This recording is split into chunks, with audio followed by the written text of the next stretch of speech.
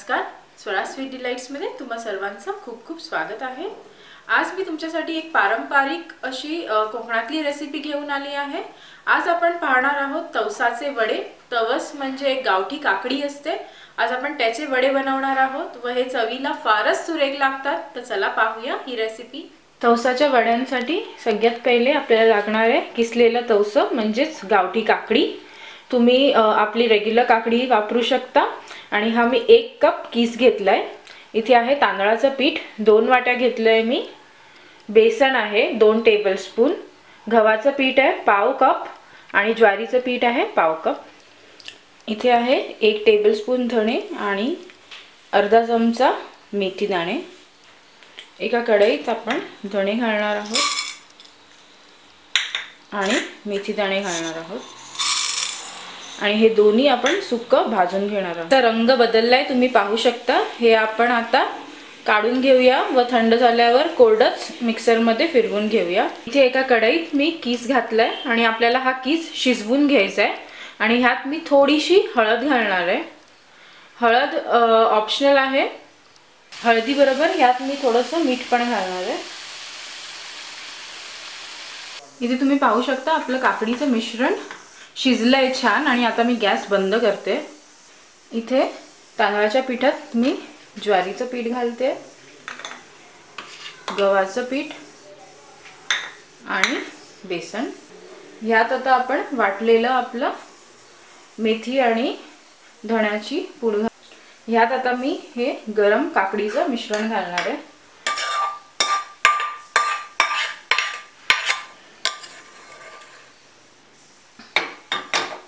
व आपण थोडंसं चवीपुरतं मीठ घालूया. कारण की आपण काकडी शिजवतानाही मीठ घातले तर तुम्ही अंदाज बघू शकता. त्याप्रमाणे तुम्ही याच्यात मीठ घालायचं आहे आता मी हे पीठ मळून घेणार आहे छान आणि आपल्याला घट्ट पीठ मळायचं आहे आणि जर लागलं तरच पाण्याचा वापर करायचा आहे मी याच्यात आधी पाव कप पाणी घालणार आहे.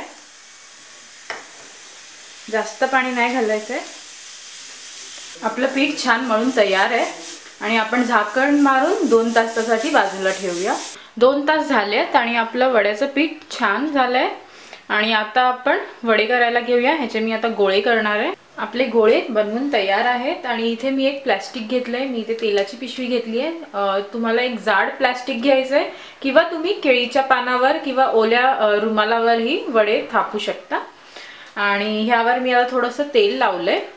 आणि आपल्याला ह्या बाजूनी असे वडे थापायचे.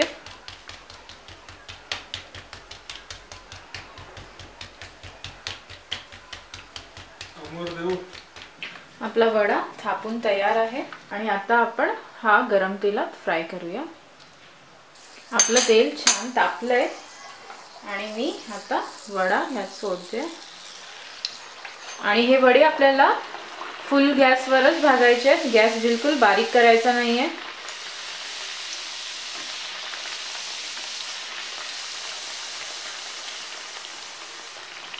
तुम्ही पाहू शकता आपला वडा किती छान फुलला आहे.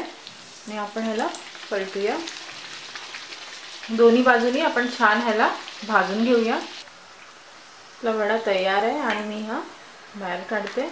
अशाच प्रकारे आपण सर्व वडे आपले भाजून घेणार आहोत. तुम्ही इथे पाहू शकता मी हे तवसाचे वडे काळ्या वाटाण्याच्या उसळीबरोबर सर्व केलेत आणि सोबत गावठी काकडीचे तुकडेही आहेत. हे वडे मटन किंवा चिकन बरोबरही फार छान लागतात. आणि बनवायलाही सोपे आहेत. तर तुम्ही ही रेसिपी घरी नक्की ट्राय करा व मला कमेंट सेक्शनमध्ये लिहून कळवा व माझं चॅनल सबस्क्राईब करायला विसरू नका.